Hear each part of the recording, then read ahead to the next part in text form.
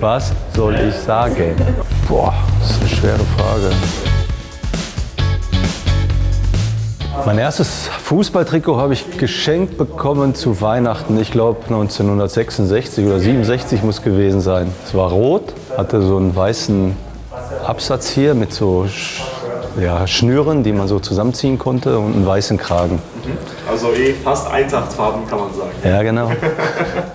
ähm, geschichtlich würde ich sagen, Preuße nicht. Aber ich, äh, ich würde sagen, für meine Zeit, für mein Alter Pelé.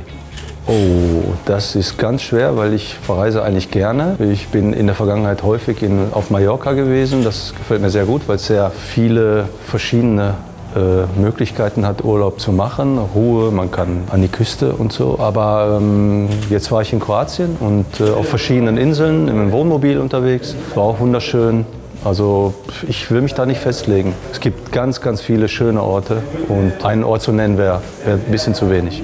Mein Lieblingsessen ist äh, Shawarma. Shawarma ist ein israelisches Gericht, was ich äh, sehr, sehr gerne esse. Mein Lieblingsort in Frankfurt ist zum einen die Nidda an sich. Äh, dann gibt es diesen alten Flughafen in Bonames, wo wir auch als Familie sehr gerne sind, weil da viele Freizeitmöglichkeiten sind. Aber eine Fahrradtour an der Nidda entlang ist äh, ja, wunderschön.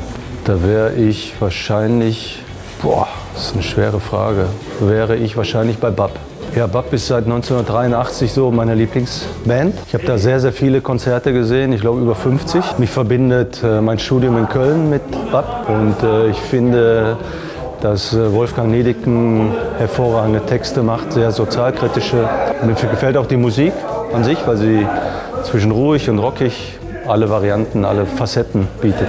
Als Fußballer? Ja. Oh, das wisst ihr schon, dass das sehr lange bei mir her ist. Ne? Aber, also ich kann mich äh, nicht an das erste Spiel erinnern, aber ich kann mich an das erste Training erinnern. Das war nämlich äh, äh, quasi so ein, so ein Scouting von, von den Leuten, die, die uns dann im Verein aufnehmen wollten. Und äh, ja, das war natürlich eine, was ganz Besonderes für mich. Ich war noch nicht im Verein, das muss 1968 gewesen sein, acht Jahre war ich da, glaube ich. Dann wurde das aber wegen ganz heftigem Regen äh, äh, abgebrochen irgendwann und ja, ich war todtraurig, ne, weil ich wollte eigentlich noch länger, länger spielen, länger trainieren. Aber an das erste Spiel, da kann ich mich nicht mehr dran erinnern.